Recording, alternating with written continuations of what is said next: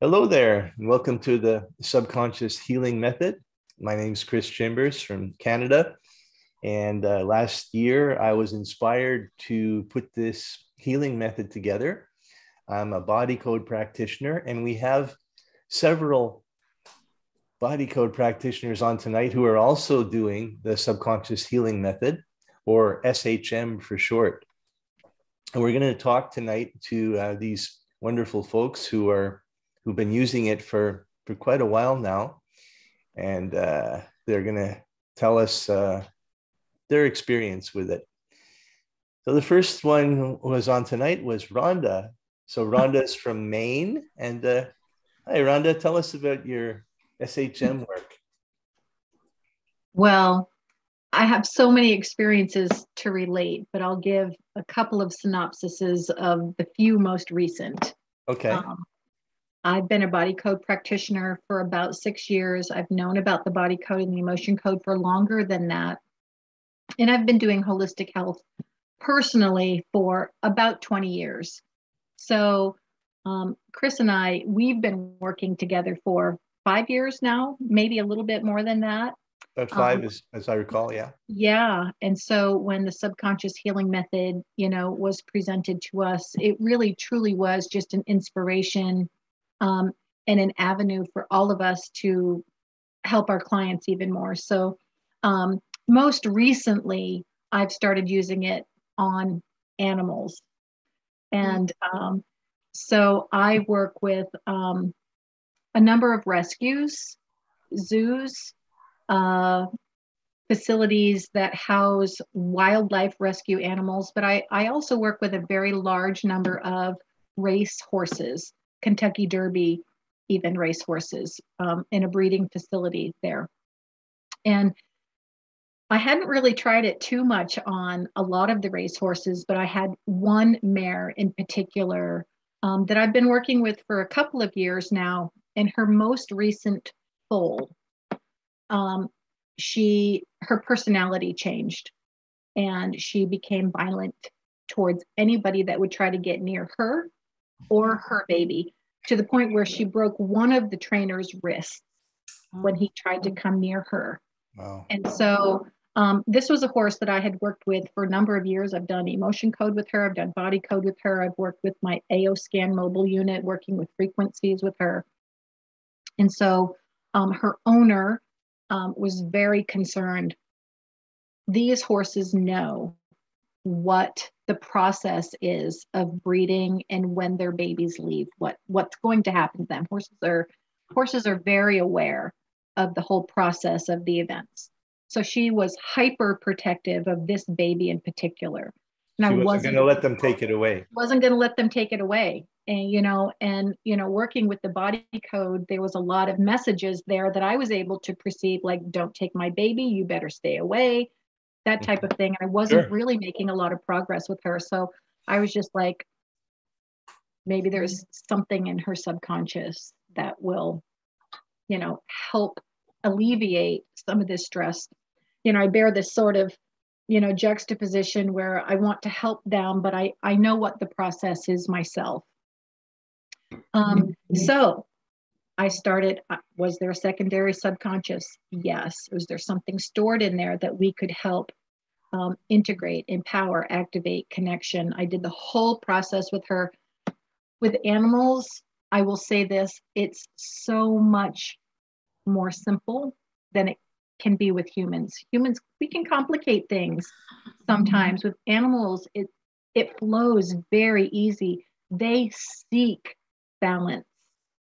Mm-hmm. They don't like all this chaos. You know, they don't depend on these, you know, these compartments and these ailments. You know, they want to be balanced. So working through her with her was very, very easy. So we, we worked with all the steps very easily. She had a processing time period. I checked her a couple of days later. the email that I got back was it was like, I don't know what you did to her, um, but this is the result. She is calm. She is quiet. She is, she was even, she was even having issues with her own baby. She was so protective of it that she was almost like scaring it away. She's nursing beautifully. Um, the the whole um, the atmosphere of the barn that she was in had changed. Mm. She was so hyper that the atmosphere in the barn was chaos. Yeah. Even the area around her was quiet now. Um, and the owner came back. The owners and the trainers sometimes are, are in separate locations, but the owner came back to me and she said, um, We've decided to bring her to the home barn and she gets to keep her baby. Oh, sweet. For two years. They won't be separated now for two years. Wow, that's fantastic. Yeah. And so I checked on her coincidentally today. And uh, if if I could just read the session notes, it is like a completely different animal. Mm. She's so quiet. She's so calm. Her everything about her energy is different. And I just think how fortunate we are to have had this method in particular to work with this animal in particular. You know, it doesn't change the world, but it changed her world. Yeah. Yeah, yeah, yeah, yeah. That's that's the thing world. that we should we should say to the uh, person who's not too familiar with our method. Yeah. That we actually get into the areas where the trauma energy is stored in the mind. Yeah. yeah. We get we go right there and yeah. we release it and yeah you know uh it, it makes a big change uh, very quickly you know in this like was this this horse's this was her fifth baby. Yeah. And she knew what happened to every single one of yeah. her babies. I work on some of her other babies that are now racehorses mm-hmm. and she absolutely could not stand letting this one go. Right.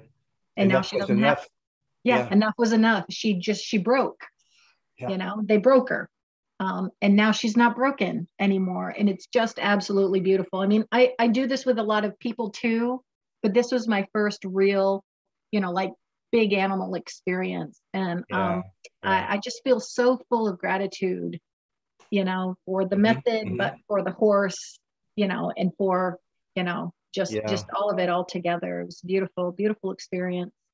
Thank you. Do you have a, a human story I do. I do. I have a couple. I have one in particular that stands out. It's a, um, you know, a man that I've been working with for years. He came to me originally um, looking to um, for fertility issues, um, and it was it's always a much bigger story than that.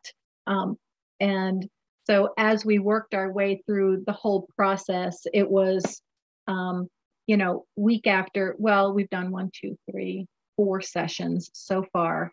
Um, and, you know, he writes back every week and he's like, you know, I can't believe how much better just my marriage is. Fertility, that was kind of a side issue. He's like, but my my marriage, my marriage has improved. And he's like, and I'm um I'm not running to the bathroom every 15 or 20 minutes. He had was having bladder issues. Um, and he said um, his business, he had been working as a school teacher, but he was trying to start a business on his own. Uh-huh, um, he's uh-huh. like, he's like the things in my business. He's like, I can see now how within just a few months, maybe a year from now, now I'll be able to do. He's like, all the cobwebs have been cleared away. Mm-hmm. Um, mm-hmm. and so, you know, fertility was the main issue, you know, in his mind, but that really wasn't what the issue was. It was all these other things, all these subconscious compartments. They just weren't working together. Um, and now he feels like everything's working in harmony. That's yeah. kind of the, those are the words that he used. He's like, I feel synchronized. Um, Great. Yeah. So yeah, that's that was that's one in particular that stands out to me. Beautiful. Yeah. Awesome. Well, um, so let's uh, plug your uh, your business now. The name of your business is Earthside Alternatives. Okay. And um, if anybody would like to book with Rhonda, we have a Facebook page called SHM Practitioners. Rhonda's profile is on there and uh, yeah, we all we all charge the same amount for uh, for SHM, and uh, that that SHM practitioners lists uh, five or six practitioners who are all amazing, like uh, like Rhonda. And uh, yeah, feel free to um, to look it over and see who you might like to work with. Thank you, thank Rhonda. You. That's great. Yeah, thank you. Let's go to Susan. Susan from Florida. Hi. And what's the name of your business, Susan? Back to Basic Wellness. Okay, great. And Susan is on the SHM practitioners page also. So tell us a bit about your work with SHM. I have doing SHM since you shared it. And I have all success stories, but I have two in particular that I just am always bragging about. Mm-hmm. So you may have heard these stories before.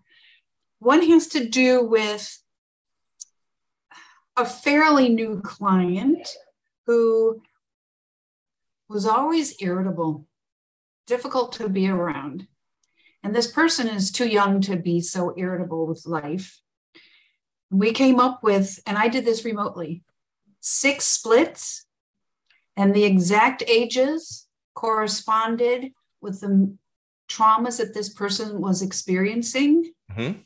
I mean, it was amazing. And what I like about doing this is once you release the emotions and the ages, you have the person's life right in front of you. So it's this is very private work. And the result is the very next day, this person was calm and happy. To me, this is a huge, huge event. And the other uh, hallelujah story, which is why I love this work, is I have one client in particular that I've been working with for a very long time. Very, very traumatized young person, young, our age. And they had but one split. But that split had five splits. Okay. All from the same age. Wow. And again, I released emotions for each split, and it was mind boggling. And this was a one on one session with this person, and they were very impressed with what came up. And the result was a month later, when she came to see me, she was calmer. Her, these are her words, lighter, and she released weight. Now, one of the issues we're working on is weight release. We've been re- she'd been releasing a little bit here and there, but this was a significant chunk, like five pounds in one month. That's massive, and she hadn't been doing anything differently. But to release these emotions and to integrate these splits to me is just they're miracles, absolute miracles. Mm-hmm. Wonderful. Yeah. Super. Okay, so it's uh, definitely made a difference in your practice, hasn't it? mm-hmm. Awesome. By the way, if anybody wants to learn more about the subconscious healing method, we do have um, a, a, private Facebook group that you can ask, anyone can ask to join. And uh, we have basically all the information. It, it's basically not for pay. Like in other words, the learning, the learning of it, everything like that is free. I don't charge for it. I was guided to just give it as a gift, and uh, so you can learn it for free. Um, it's uh, the the Facebook page is called Subconscious Healing Method, and you can ask to join. There are a few qualifying questions that we ask that you answer, like agreeing to the group rules and so on. And then, um, so you're not automatically accepted. There are, there's a little hurdle there of the questions to answer. And then uh, you can join the group. There's um, over 200, I think 250 uh, members in the group now. And we're having uh, a lot of interesting discussions about how, how it works, new discoveries. We're, we're still finding new discoveries uh, it's a pretty pretty deep subject you know the subconscious there's a lot to uh, a lot to learn but we're getting better at it as we go Okay, let's go over to Diane in Calgary, Alberta. Hey, Diane. Hi, everyone. um, yeah, I I love the subconscious healing method, and my first um, shortly after uh, I was introduced to the subconscious healing method, um, I had an experience myself that I'd like to share, and I'm sure some of you probably heard this story, but uh, it was just so profound to me uh, how much of a difference this could make, and that was even before we were doing uh, the um, empowerment, the activation, and the whole the whole part of it, right? Because it was still evolving at that time. And it was uh, last year in August, the August long weekend, where I was outside and just cleaning up the yard, and um, I stepped over a probably a six inch retaining wall. It was very low, but there was a wasp's nest inside of it. And as I stepped over, uh, I kind of caught them in my eye. They were all coming at me. It was like I disturbed this wasp nest and I got stung behind my left ankle. And uh, that was the most painful wasp sting I've ever had. I've been stung before and they, yeah, they hurt. Um, but this one was just it, so intense. It was just like real raw nerve pain. And my entire left foot was swollen right up to my toes. And um, I had done energy healing on myself throughout the week in between sessions and just little bits here and there. And so that was that was on the Monday. So by Friday, you know, my foot was feeling better, but not the swelling was still an issue. And uh, here I was at the end of the day, Friday, after having done my sessions for the day and putting my foot up yet again. And I thought, I'm going to do this subconscious healing method. I'm just going to see, you know, is are there any splits there? And yeah, I did have some splits, so I worked on it and um, went to bed. Didn't really think anything of it, but the next morning I woke up and it was like nothing had ever happened to my foot. It was completely gone. It was like uh, I was like blown away, blown away. And I kept saying to my husband, "Look at my foot! Look at my foot!" Like he's like, "I've seen your foot." no, really look at it. It's totally different, right? And I was just, I was blown away. And that was right at the beginning. Yeah, that was totally at the beginning. Yeah. Yeah. Just, yeah. The, just so, the integration took care of it, eh? Yeah. So. It, it just was, um, yeah, it was amazing. And uh, I couldn't believe it. I mean, I certainly wasn't expecting, I wasn't expecting anything. I was just kind of mm-hmm. waiting, you know, being open minded and seeing what would happen. And yeah. Uh, I was just, I was blown away and um, yeah since then i mean i've um, had i have lots of complex clients uh, and some of the people that really stand out to me i have a woman that i've been working with for probably at least four years now um, long long list of symptoms and issues and um, and it was only recently when we were looking at uh, some subconscious mind splits and, you know, kind of what I'm finding is I'm not sure that they always want to be revealed at that time. Right. And so sometimes we'll go and there's certain splits and we'll work on those splits and then we come back and then there's other splits. I'm going to have to check the splits with the splits because that sounds pretty profound too. Um, but we did a session with her and honestly, it was the first time she just felt the energy well up in her abdomen and just and start to flow up her body and it it was kind of hovering around the neck i could feel it in my neck and then finally you know i had talked her through this like okay just breathe let it go it's releasing let it do its thing and it left and she said she's she that's the first time in a long time she's actually felt such a shift and was feeling good after that so that's just amazing it was such a relief because previous sessions it's like oh how are you feeling mm, no different, no different, no different. And yet it was such a good session. And it's like all this stuff came up and it was such a good session. But finally, it was, you know, doing this work that really helped to make that difference, which is just so amazing. Mm-hmm. Um, I'm also working with um, a fellow who had uh, um, he was going into hospital a few years ago for triple bypass surgery, and um, he ended up having a double bypass surgery just with some work that we had done. So, um, but he'd also had uh, a stroke and a whole bunch of other things that, you know, complex again. Um, and we'd done you know a recent session on him uh, where one of the subconscious minds actually revealed a never to be released wall around his heart, as well as um, trauma compartments in his brain, and um, and he's feeling better now too as a result. Felt that shift. Um, yeah, so able to walk more now without um, feeling the discomfort that he was feeling before.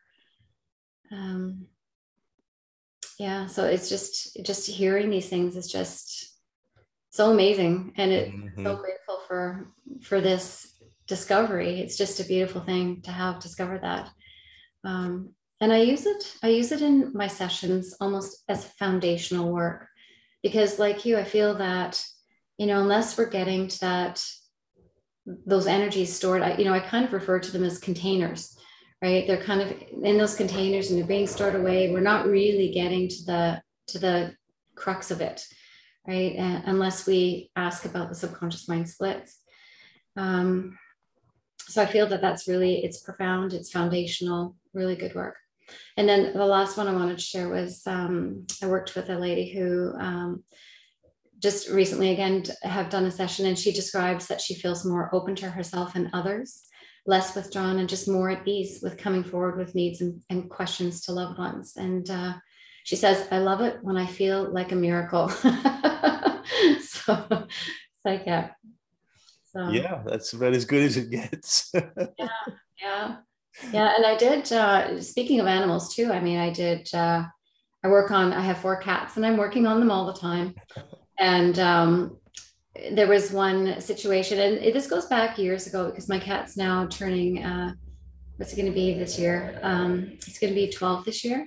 And when he was five, so before getting into energy healing and really knowing that, you know, talking to your animal, right? Because he went through an experience where he had um, his cat that he was really attached to, his his brother, his brother from another mother, um, but they were same the same age, and um, we ended up losing him at the age of five, and just you know not not really recognizing the impact that it had on him at that time. And you know he had a split because of that too and and being able to address that is just it's amazing because you know i can't go back right? If i could go back i would do things differently and talk to him and share with him what was going on and and that kind of thing. But having t- him to deal with this kind of on his own after the fact um, you know breaks my heart. And you know to be able to help him now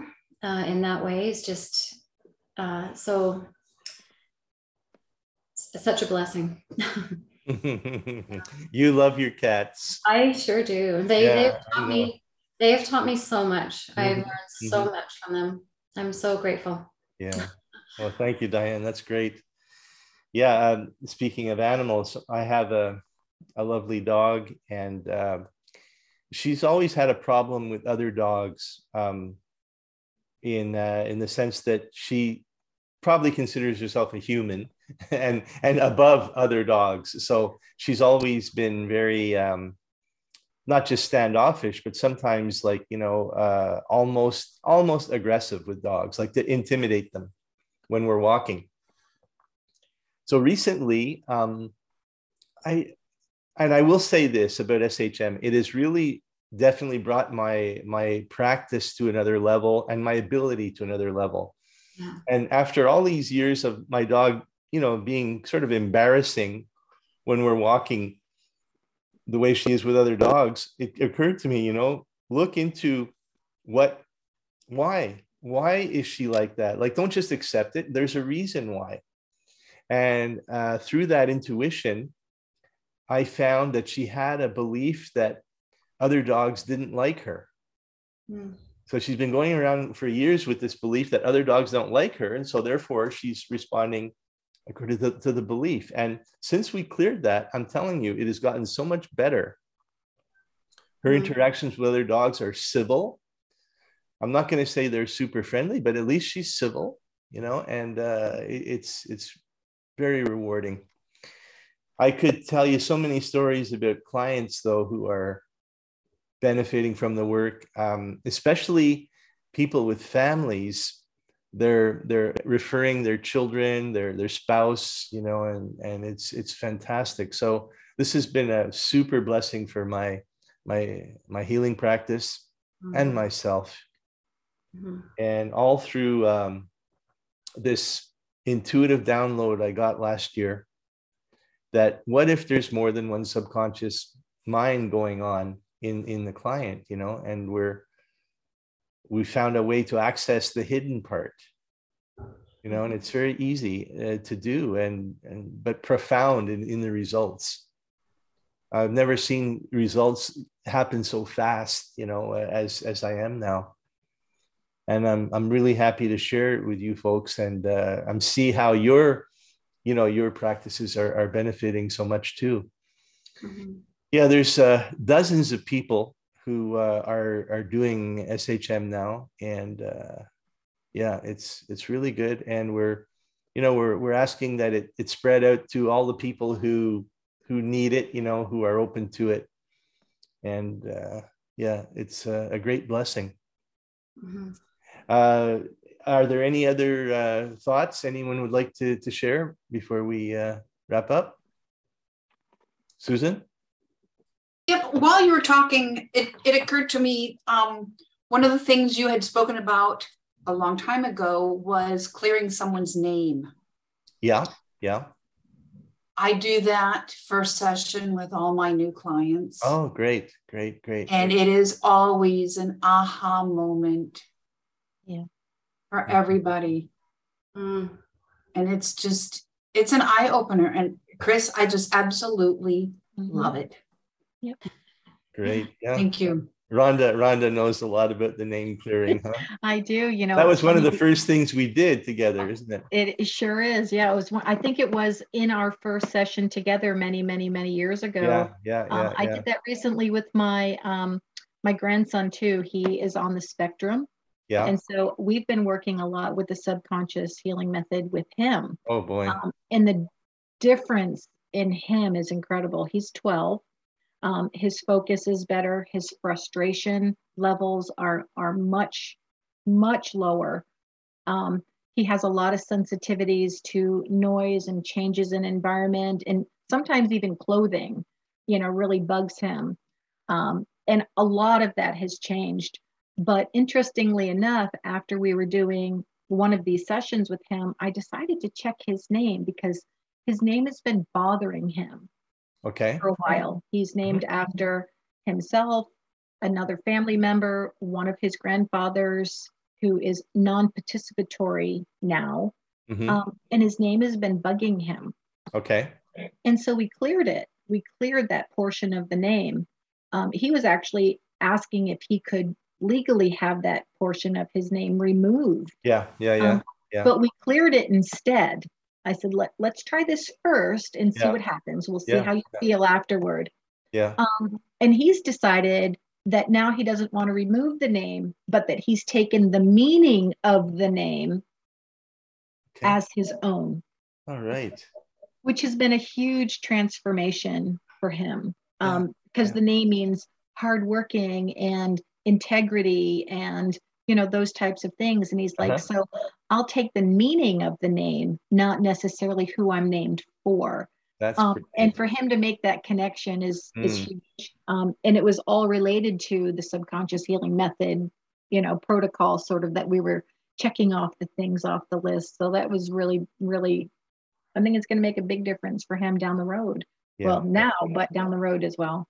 Well you think when you're in school kids will make fun of, of any name that's not standard, right? You know, right. So, you know, you'll you'll get called names. So it, it does it, it it looms large for a lot of us, you know, as we're growing up in our formative years. You know, I've I've got I've got a weird name, or you know, or whatever whatever it is, and so yeah. that name attracts that negative energy. Yeah. You know, the the energy actually you know sticks to the to the name, and if we clear it that's a great burden off you know anybody mm-hmm. i haven't met anybody who had like a, a really healthy energy field around their name. everybody's got something attached to it. Mm-hmm. So one, one way or the other. Family names. Sure, the family name, you know, the yeah. whole thing. Like yeah. one John Smith and another John Smith, they'll have completely unique energies around the same name because of their their their life experience. So every everybody's name can do, you know, be cleared. And that's just one session of work, you know. It, it may be part of a session, you know, it may only take part of a session, but it's really, as Susan says, you know, it's really valuable thing. And we have a whole list of other what we call focused intentions in the subconscious healing method. So once the subconscious is healed and activated and, and fully working to, um, to do its job that it was designed to do, we can look at the other intentions, such as clearing the name, clearing the energy of your word. I'll just I'll just go into that one. I don't want to go into all of them, of course, but the energy of your word is our word, our spoken word, and our written word. The the words that come from us uh, has a certain energy level. In the past, people used to say things like, "My word is my bond," or "You have my word on that." and that used to be the measure of you know your integrity. You would say you know uh, we'll do it on a handshake you know? And now uh, that's pretty much lost. But still uh, each of us has um, a certain level of integrity to our word which can be c- cleared up you know? And uh, having a, an impeccable word is, is a great power and a great um, blessing in this world mm-hmm. people know that they can rely on your word mm-hmm. trust you, and so on. Mm-hmm. Well, I thank you so much for uh, for sharing your your wonderful experiences with at SHM. And once again, I'll just recap that if anyone wants to learn about subconscious healing method, there is a Facebook page, a private group that you can join. And for working with a practitioner, such as these wonderful ladies, uh, it is SHM practitioners. That's an open Facebook group. Anybody can go on there and see the profiles. And uh, that's where that's where we'll uh, we'll end tonight. And I thank everybody for uh, for tuning in to uh, to learn about this, and hopefully you may be inspired to give it a try. So we'll just uh, I thank thank the uh, folks who participated tonight. Thank you all. And uh, as always, we give thanks to our divine creator in the name of Jesus Christ. Amen. Amen. Take care, everybody. Good night. Good night. Bye-bye.